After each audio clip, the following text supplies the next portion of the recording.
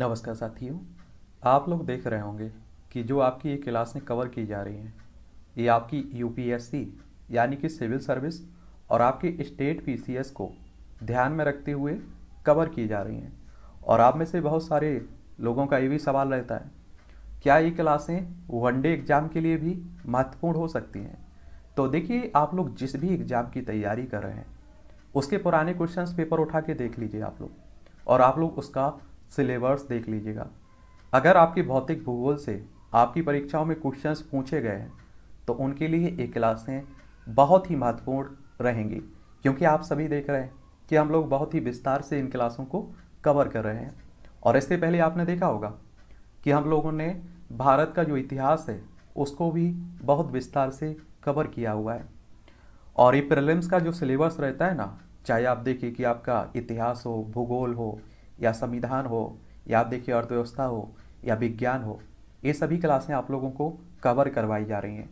और कवर ये श्रृंखला जो भी चल रही है, ये चलती रहेगी, जब तक कि प्रीलिम्स का पूरा सिलेबस कवर नहीं हो जाता है। और पिछली क्लास में आपने देखा होगा कि हम लोगों ने ब्रह्मांड के बारे में बात किया हुआ था। तो वहाँ जाकर आप दे एक प्लेलिस्ट सूची बना रखी है आपकी UPSC and state PCS prelims special classes के नाम से। तो उसमें सभी क्लासें आपको मिल जाएँगी और एक एक क्लास को आप लोग कवर कर सकते हैं। आज की इस क्लास में हमें सौर मंडल के बारे में बात करनी है और इसमें आप देखते हैं कि सूर्य भगवान रहते हैं, उसके चारों तरफ़ आप लोग ग्रह देखते हैं, घूमते रहते हैं। देखिए, पृथ्वी भी हमारा घूमता रहता है बुद्ध भी आप देखते होंगे, शुक्र भी देखते होंगे, मंगल, बृहस्पति, शनि, यूरेनस और नेपच्यून आप लोगों को देखने को मिलता होगा। इन्हीं सभी के बारे में हमें पढ़ना है। यहाँ भी आप लोग देख रहे होंगे। देखिए। तो अगर हम लोग आकाश में फैले हुए छोटे, बड़े सभी पिंड कुछ व्यवस्थित परिवारों के में बटे हुए हैं और प्रत्येक परिवार में एक बड़ा विदीप्त तारा होता है, जिसे सूर्य कहते हैं। एक तरह से अपने परिवार से आप लोग तुलना कर सकते हैं। आपने देखा होगा कि एक हमारे दादा दादी के रूप में आप लोगों को देखने को मिलता होगा। उसके बाद उनके बेटे रहते हैं। उनके बाद आप देखते होंगे उनके बेटे रहते हैं। तो इस तरह से पूरा परिवार मिल जाता है। उसी को आप लोग परिवार कहते हैं। और हर हर सूर्य का परिवार उसका सौरमंडल कहलाता है और आकाश में अनगिनत सौरमंडल है। तो आप भी तो देखते हैं कि आपके आसपास भी तो अनेक परिवार देखने को मिलते हैं। सूर्य का भी एक सौरमंडल है और इसमें पृथ्वी सहित नौ ग्रह आप लोगों को देखने को मिलेंगे।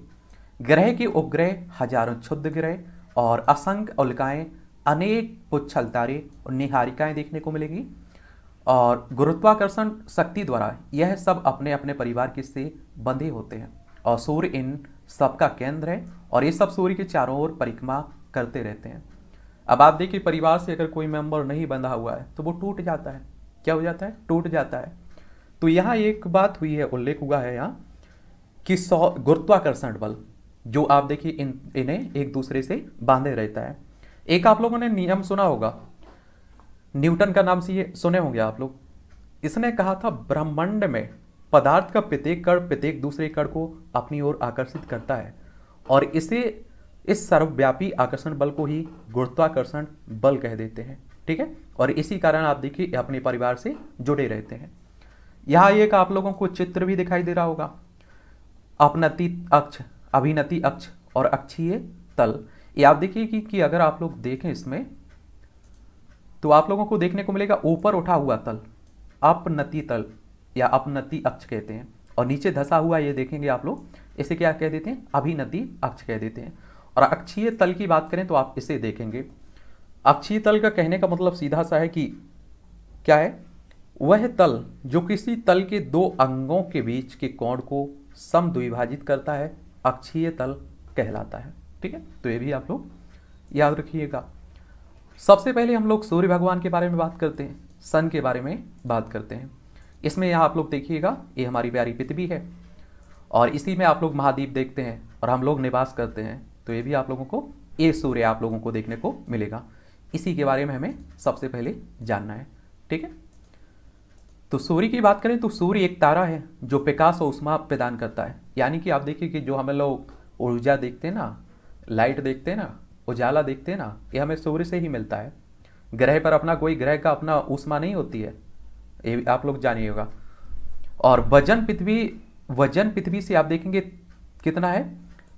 तीन लाख तीस हज़ार गुना अधिक है हमारा जो पृथ्वी है ना, इससे तीन लाख तीस गुना अधिक बड़ा है आपका कौन? सूर्य भगवान। और इसका व्यास आप देखेंगे तो तेरह लाख बानवे हज़ार किलोमीटर इसका ब्यास है। ये छोटे छोटे पॉइंट हैं, कई बार आप देखते हैं कि वनडे एग्ज़ाम में पूछ लेता है तो ये भी आप लोगों को याद रखना चाहिए, ठीक है? और जो पृथ्वी के ब्यास से आप देखेंगे 109 गुना ज़्यादा है। हमारी पृथ्वी सूर्य की तुलना में बहुत छोटी है, समझ रहे इसकी संरचना अधिकतर वाष्पीय है, जो हाइड्रोजन और हीलियम गैसों का है। यानी कि इसकी अधिकतर संरचना बाष्प के द्वारा बनी हुई है, जिसमें हाइड्रोजन आप देखेंगे हीलियम आप लोगों को देखने को मिलेगी। सघनता पृथ्वी की सघनता से कम है और सूर्य के केंद्र का ताप दो करोड़ डिग्री सेंटीग्रेड से अधिक है। और सतह पर तापमान देखें तो आप देखेंगे 6000 डिग्री सेंटीग्रेड आप लोगों को देखने को मिलेगा। आप लोग सोचिए, अगर आप सोचिए कि पूरा का पूरा अगर उसका ताप नीचे आ जाए तो हम लोग, आप देखिए, कब भस्म हो जाएँगे, जल कर राख हो जाएँगे, मालूम भी नहीं चलेगा। छोटा सा, आप देखिए, कई गुना छोटा सूर्य का जो प्रकाश रहता है, वो पृथ्वी तक पहुँचता है। और सूर्य के मध्य भाग, अर्थात प्रकाश मंडल के ऊपर, इसका वर्णमंडल होता है और यह अत्यंत तप्त गैसों की आंधी, सूर्य ग्रहण के समय देखी जा सकती है। और यह परिज्वाला तप्त गैसों की आंधी, सूर्य की तरह सतह से उठती हुई लपेटों द्वारा बनती है। और सूर्य से उठती हुई तप्त ज्वालाओं को सौर ऊर्जा कहते हैं। और सूर्य की सतह पर धब्बे जलते हुए गैस के खोल हैं, जिनका तापमान आप देखेंगे 4800 यानी कि 4800 डिग्री सेंटीग्रेड होता है। और धब्बे में मध्य का भाग पिछ पिछाया यानी कि, और चमकते हुए किनारे उपछाया कहलाते हैं। और इन धब्बों का पता गैलीलियो ने लगाया था। अगर हम लोग गैलीलियो के बारे में बात करें तो आप देखेंगे इसका पूरा नाम गैलीलियो डी बिंसे जो बोनाई यूटी डी गैलीली था और इनका जन्म 15 फरवरी पंद्रह में हुआ था और 8 जनवरी 1642 में इनकी डेथ हो गई थी। एक खागोल शास्त्री थे, भौतिक विज्ञानी थे, इंजीनियर भी थे। ठीक है तो इन्हें भी याद रखिएगा। और इन्हें इसलिए जाना जाता है विश्लेषणात्मक गतिशीलता सूर्य केंद्रीय गति गति की अवलोकन संबंधी खगोल विज्ञान से जुड़े रहे हैं। इसके क्षेत्र में इन्होंने काम किया था।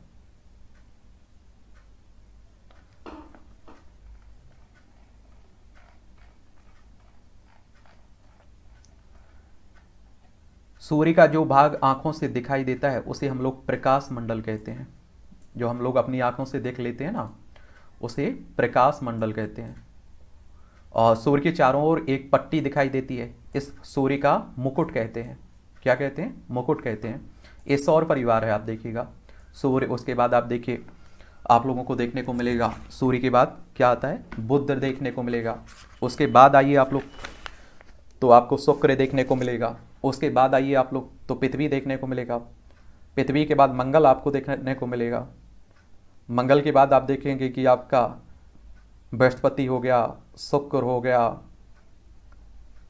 ठीक है शनि, अरुण, वरुण, यम ये आप लोगों को देखने को मिलेंगे। यहाँ छोड़िए, यहाँ आप लोग क्लियर समझ रहे होंगे। देख लीजिए, ये सूर्य हो गया, उसके बाद आप देखा तो बुद्ध हो गया, उसके बाद आप आएँगे, देखिए घूम रहे हैं, ठीक है? ये शुक्र देखने को मिलेगा, उसके बाद पृथ्वी का नंबर आता है। ये पृथ्वी है आपका। इनका क्रम आप लोग ज़रूर याद रखिएगा, कई बार क्वेश्चन पूछ लेता है। और पृथ्वी के बाद आप देखिए पृथ्वी है, उसके बाद मंगल देखने को मिलेगा। मंगल के बाद आप आइए, बृहस्पति देखने को मिलेगा। और बृहस्पति के बाद आप देखेंगे आपको ये बृहस्पति और इसके बाद आपको ये शनि देखने को मिलेगा। और उसके बाद आप आएँगे तो यूरेनस देखने को मिलेगा। और उसके बाद आप लोगों को देखने को मिलेगा नेपच्यून। तो ये भी आप लोग याद रखिएगा इनका क्रम से। इन्हें क्रम आप लोग याद रखिएगा क्रम से बिल्कुल। सूर्य से आप लोग इस तरह से सूर्य के बाद आप देखेंगे। सूर्य के सबसे पास ग्रह बुद्ध देखने को मिलेगा, बुद्ध के बाद शुक्र देखने को मिलेगा, फिर पृथ्वी आपको देखने को मिलेगा, फिर आप देखें पृथ्वी के बाद मंगल आपको देखने को मिलेगा। और अब आप देखिए मंगल पर भी रिसर्च चल रही है और यहाँ भी जीवन की एक तरह से संभावना खोजी जा रही है। इसके बाद बृहस्पति देखने को मिलेगा, उसके बाद शनि आप लोगों को देखने को मिलेगा, यूरेनस देखने को मिलेगा और इसे आप लोग नेपचीन भी कह देते हैं, ठीक है? तो ये भी आप लोग याद रखिएगा, इसे आप लोग अरुण वरुण भी कह देते हैं। तो इन्हें भी आप लोग याद रखिएगा। ये छोटी छोटी बातें हैं, लेकिन कई बार बड़ी बड़ी बातें हो जाती हैं। अगर हम लोग ग्रह के बारे में बात करें तो जो पिंड सूर्य के चारों ओर अपनी दूरी पर निश्चित अंडाकार पथ पर घूमते हैं, वह ग्रह प्लेट, प्लेनेट्स कहलाते हैं। और इसका अपना प्रकाश नहीं होता है, और सूर्य के प्रकाश को प्रतिबिंबित करते हैं, और सौर परिवार में पृथ्वी को सम्मिलित करते हुए आठ ग्रह आप लोगों को देखने को मिलेंगे। और सूर्य के, सूर्य से ही इन्हें ऊर्जा मिलती है एक तरह से। सबसे पहले हम लोग बुद्ध को देख लेते हैं, क्योंकि सूर्य के नज़दीक सबसे पास कौन है? वृद्ध आपको देखने को मिलेगा, मरकरी, ठीक है? सूर्य परिवार का चमकीला और सबसे छोटा और सबसे पास ग्रह है। और जो भी प्रतिदिन सूर्य उदय के से दो घंटे पहले उदय हो जाता है और दो घंटे बाद अस्त होता है। यानी कि सबसे पहले उग जाता है और सबसे पहले डूबता है। और इसीलिए आप लोग इसे भोर का तारा भी कहते हैं।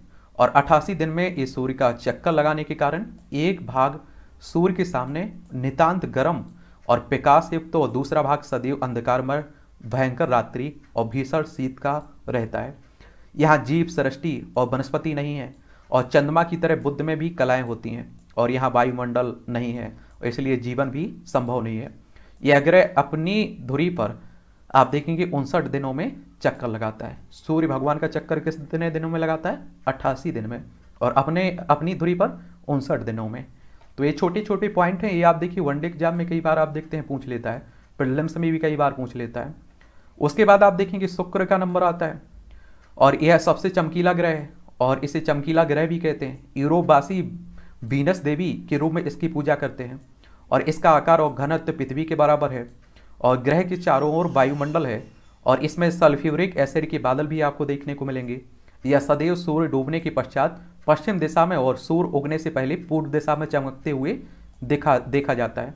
और इसे आप लोग संध्या का तारा कहते हैं। बुद्ध को आप लोग भोर का तारा कहते हैं, शुक्र को संध्या का तारा कहते हैं, ठीक है? मॉर्निंग स्टार शुक्र को कहते हैं और इवनिंग स्टार किसे कहते हैं? शुक्र को, ठीक है? फिर आती है पृथ्वी का नंबर आता है तीसरे नंबर पर। इस सौर परिवार का एक सदस्य है और पृथ्वी की उत्पत्ति सूर्य से हुई है और अपने अंडाकार कक्ष पर घूमते हुए पृथ्वी सूर्य की परिक्रमा तीन सौ पैंसठ दिन और चार घंटे में पूरी होती है। यानी कि आप देखिए, सूर्य का एक चक्कर लगाने में हमें तीन सौ पैंसठ दिन चार घंटे का समय लगता है और यह अपनी धुरी पर भी घूमती है और यह प्रकाश और गर्मी सूर्य से प्राप्त करती है और चंद्रमा इसका उपग्रह है। किसका? पृथ्वी का उपग्रह क्या है? चंद्रमा है। ठीक है? और मंगल ग्रह की बात करें तो पृथ्वी के सबसे निकट आप लोग देखेंगे, पृथ्वी के सबसे निकट मंगल है। और दहकते हुए अंगारे के कारण लाल दिखाई देता है और इस कारण इसे लाल ग्रह के नाम से भी आप लोग जानते हैं। इस ग्रह पर वायुमंडल है और सतह का अधिकांश भाग लाल है, जो बंजर भूमि को प्रदर्शित करता है। यहाँ चट्टान और शिलाखंड भी देखने को मिले हैं और अपने अक्ष पर झुके होने के कारण ऋतु परिवर्तन की कल्पना भी की गई है। और फॉर्मोस, डीमोस डीमोस और डीमोस इसके दो उपग्रह आप लोगों को देखने को मिलेंगे। फॉबोस और डीमोस तो ये भी आप लोग याद रखिएगा। एक बार सभी को देख लीजिए, उसके बाद फिर से एक ओवरव्यू आप लोगों को दे देंगे सभी ग्रहों के बारे में। फिर आप देखेंगे, बृहस्पति आता है और यह सौर परिवार का सबसे बड़ा और चमकीला ग्रह है। हर तेरहवें महीने बृहस्पति संध्या के समय उदय होकर रात भर दिखाई पड़ता है और इसका रंग कुछ पीला है और यह बादलों से ढका रहता है। इसके आप देखें तो अभी वर्तमान में आप देखिए इसके 79 यानी कि उन्यासी उपग्रह देखने को मिलेंगे।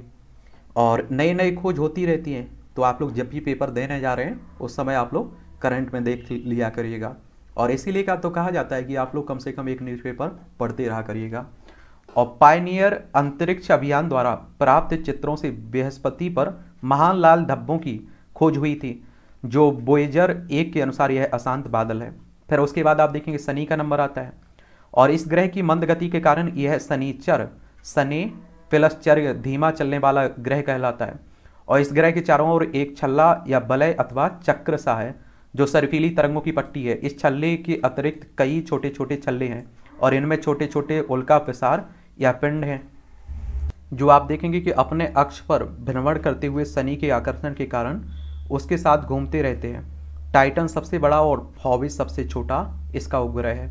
लेकिन आप देखिए, इसके भी उपग्रह बढ़ चुके हैं। बृहस्पति से ज़्यादा इसके उपग्रह हो चुके हैं। अभी वर्तमान में टोटल बयासी उपग्रह हैं इसके। और बृहस्पति के कितने हैं? सेवेंटी नाइन, यानी कि उन्यासी देखने को मिलेंगे। फिर उसके बाद अरुण का नंबर आता है। और इस ग्रह पर 11 घंटे का दिन होता है। और दूरबीन से इसका प्रकाश हरे रंग का दिखाई देता है। और यहाँ भी बादल छाए रहते हैं और इसका वायुमंडल सघन है और यह पश्चिम की ओर भ्रमण करता है और इसलिए यह सूर्य पश्चिम से में उगता है और पूर्व में डूबता है यहाँ। तो ये भी आप लोग इसकी विशेषता याद रखिएगा। ये पश्चिम की ओर भ्रमण करता है। यह एक ऐसा ग्रह है जो एक ध्रुव से दूसरे ध्रुव तक अपनी चार दक्षिण कक्ष में सूर्य के सामने रहता है और अरुण के पाँच उपग्रह आप लोगों को देखने को मिलेंगे। ठीक है? उसके बाद आप देखेंगे वरुण का नंबर आता है। और इसकी धुरी सूर्य के अक्ष पर अंठानवे पर डिग्री झुकी हुई है। और अनुमान है कि यहाँ दिन और रात सोलह घंटे के बराबर हैं। बोजर टू ने इस ग्रह से पाँच बलयों का पता लगाया था और ऐसा अनुमान है कि इसकी बाहरी वलय बर्फ़ चंदिकाओं से भरी है और आंतरिक वलय पतली और सख्त है। इसके आठ उपग्रह देखने को मिलेंगे। यम कुबेर, इसकी खोज 1930 में हुई थी। ऐसा अनुमान है कि यह पानी और मेथेन का जमा हुआ है और बर्फ़ का गोला है इसका उपग्रह केरोन इसके आकार का आधा है और हाल में ही इस ग्रह को की श्रेणी से बाहर कर दिया गया। अब हमारे सौरमंडल में ग्रहों की संख्या आठ रह गई है। पहले नौ हुआ करती थी, ठीक है? तो ये भी आप लोग याद रखिएगा इसके बारे में।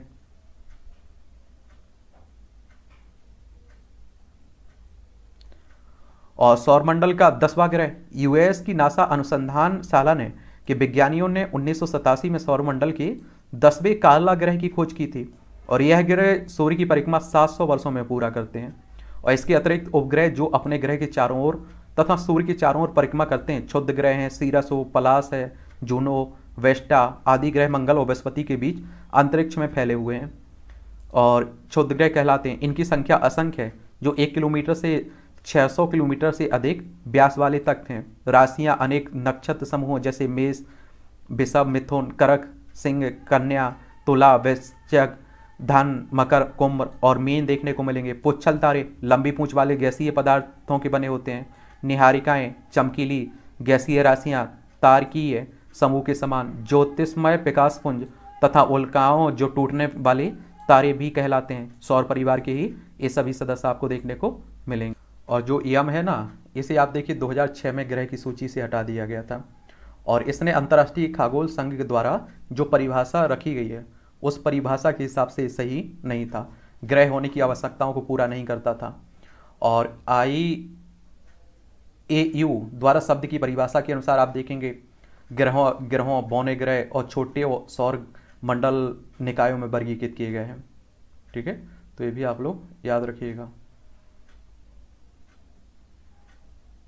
तो 2006 में से हटा दिया गया था।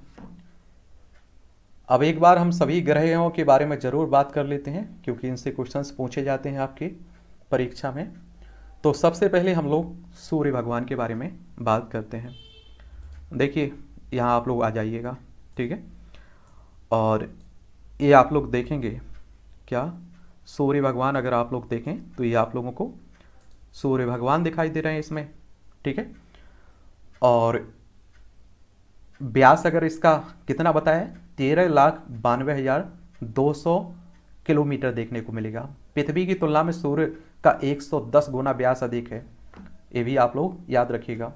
सूर्य में परमाणु संलयन के कारण ऊर्जा उत्पन्न होती है। इसमें हाइड्रोजन सबसे ज़्यादा देखने को मिलेगा, इकहत्तर परसेंट, और हीलियम छब्बीस दशमलव पाँच परसेंट, कार्बन एक दशमलव पाँच परसेंट, नाइट्रोजन आप दे, ऑक्सीजन, और अदर गैसें आप देखेंगे एक परसेंट हैं। ठीक है? तो ये भी आप लोग याद रखिएगा। और सूर्य की रोशनी को पृथ्वी पर पहुँचने के लिए आठ मिनट बीस बीस सेकेंड का समय लगता है। ये क्वेश्चन कई बार पूछ लेता है, ठीक है? सूर्य की रोशनी को पृथ्वी पर पहुँचने के लिए आठ मिनट बीस सेकेंड का समय लगता है। ये भी याद रखिएगा।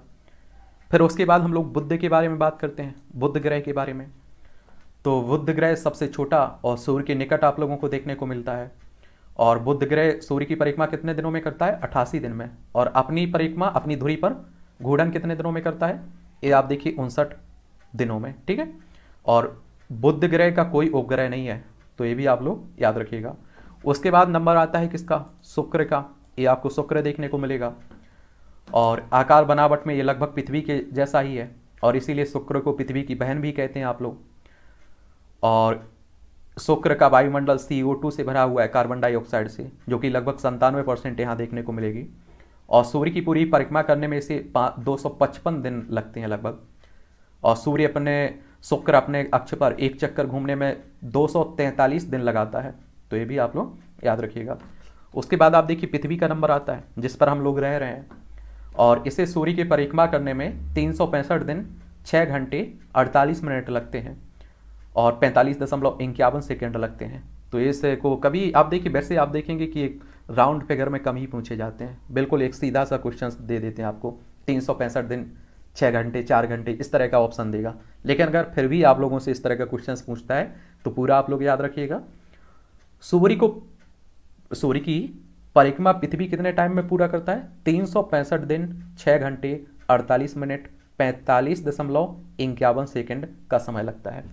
और पृथ्वी को अपने अक्ष पर घूमने के लिए कितना समय लगता है? तेईस घंटे, छप्पन मिनट का समय लगता है। और पृथ्वी अपनी अक्ष पर तेईस दशमलव पाँच डिग्री झुकी हुई है। और पृथ्वी को आप लोग नीला ग्रह भी कहते हैं, क्योंकि आप सभी जानते हैं इकहत्तर परसेंट पृथ्वी के हिस्से पर पानी ही पानी आप लोगों को देखने को मिलता है। ठीक है? और पृथ्वी का एक उपग्रह भी है चंद्रमा, जो पृथ्वी से करीब चार लाख किलोमीटर देखने को मिलेगा आप यानी कि तीन लाख चौरासी हज़ार चार सौ किलोमीटर दूर स्थित है। फिर आप देखेंगे मंगल का नंबर आता है। और इसी आप लोग क्या लाल आयरन ऑक्साइड के कारण लाल दिखाई देता है और लाल ग्रह भी आप लोग कह देते हैं। मंगल को सूर्य की पूरी परिक्रमा करने में छः दिन लगते हैं छः और अपने अक्ष पर घूमने में चौबीस दशमलव घंटे लगते हैं इसे। तो मंगल के दो उपग्रह हैं फोबोस और डीमोस आपको देखने को मिलेगा। और मंगल ग्रह का आकार पृथ्वी से छोटा है तो ये भी आप लोग याद रखिएगा। और मंगल ग्रह पर निक्स ओलंपिया नामक एक पर्वत है, जो आकार में माउंट एवरेस्ट से तीन गुना अधिक है। समझ रहे हैं? जो माउंट एवरेस्ट हम लोग देखते हैं ना, कहाँ है? आपका नेपाल में है ना? उसी की बात हो रही फिर आप देखते हैं कि बृहस्पति आता है आपका। और बृहस्पति सभी ग्रहों में सबसे बड़ा ग्रह है, ठीक है? और पृथ्वी बृहस्पति अपने अक्ष पर घूमने के लिए केवल दस घंटे का समय लेता है। और ये सबसे, सभी ग्रहों में सबसे तेज ग्रह ये चलता है मतलब घूमता है। और इसका आप देखेंगे कि पृथ्वी ग्रह का तापमान 130 डिग्री सेल्सियस है। किसका? बृहस्पति के ग्रह का। तो ये भी आप लोग। सूर्य की पूरी परिक्रमा करने में इसे 12 वर्षों का समय लगता है। कितना? 12 वर्षों का। तो ये भी आप लोग याद रखिएगा। उसके बाद शनि का नंबर आता है। सूर्य से दूरी के अनुसार शनि छठे स्थान पर आता है। और शनि चारों ओर से वलय से घिरा हुआ है। शनि के उपग्रह अगर आपको बताएँ तो बयासी हैं। जैसा कि आपको बताया, सबसे बड़ा इसका टाइटन है। अरुण। फिर आपको अरुण देखने को मिलेगा। सातवा ये आकार आकार में तीसरा है और वैसे आप देखेंगे दूरी में सातवां है, सूर्य से दूरी में, सातवें नंबर पर आता है, आकार में तीसरे नंबर पर आता है। इसे हरा ग्रह भी कहते हैं, अरुण को आप लोग, यूरेनस को। और अरुण ग्रह की कुल, आप देखिए, सत्ताईस उपग्रह हैं। इनकी खोज होती रहती है तो आप लोग जब पेपर देने जा रहे हैं, उस समय देखिएगा। अरुण ग्रह को अपनी कक्ष में पूर्व से पश्चिम की तरफ़, घड़ी की तरह दिशा में घूमता है। फिर आप देखते हैं कि वरुण आ जाता है, नेपच्यून आ जाता है। वरुण ग्रह सूर्य से दूरी के अनुसार में आठवां है और आकार में चौथे नंबर पर आता है। वरुण ग्रह के चौदह उपग्रह हैं। सूर्य से सबसे अधिक दूर होने के कारण वरुण ग्रह सबसे ठंडा ग्रह है और सूर्य का पूरा एक चक्कर लगाने में वरुण ग्रह को कुल एक साल लगते हैं। अगर आप सोचिए कि यहाँ आप देखिए, एक सौ पैंसठ साल लगते अगर सूर्य की परिक्रमा नेपच्यून को करना होता है। तो ये भी याद रखिएगा। और आपको एक बार और बता देता हूँ कि अगर आपसे सूर्य से दूरी के क्रम में ग्रहों के नाम पूछे। तो पहले पर बुद्ध दूसरे पर शुक्र तीसरे पर पृथ्वी चौथे पर मंगल पाँचवें पर बृहस्पति छठे पर शनि है और सातवें पर अरुण है आठवें पर वरुण है। ठीक है? आकार की अगर पूछे आपसे तो पहले पर बृहस्पति है सबसे बड़ा फिर दूसरे पर शनि है तीसरे पर अरुण है, चौथे पर वरुण है पाँचवें पर पृथ्वी है छठवें पर शुक्र है और सातवें पर मंगल है और आठवें पर बुद्ध है। ठीक है? और आंतरिक ग्रह किन्हें कहते हैं? बुद्ध शुक्र पृथ्वी, मंगल को आप लोग क्या कह देते हैं? बुद्ध शुक्र पृथ्वी, मंगल, इन्हें आप लोग आंतरिक ग्रह कहते हैं। बाह्य ग्रह किन्हें कहते हैं? बृहस्पति, शनि और अरुण, यूरेनस और नेपचून यानी कि वरुण को। ठीक है? तो ये भी आप लोग याद रखिएगा। और इस तरह से आप देखेंगे कि आपका सौरमंडल वाला चैप्टर भी कवर हो जाता है। कुछ आपके सुझाव हों, सवाल हों तो आप लोग ज़रूर बताइएगा। उन पर भी हम लोग बात करते रहेंगे। और अगली क्लास में हम लोग पृथ्वी की जो गतियाँ हैं, उनके बारे में बात करेंगे। पृथ्वी जो गति करती है ना, उसकी जो गतियाँ हैं, उन पर हम लोग बात करेंगे।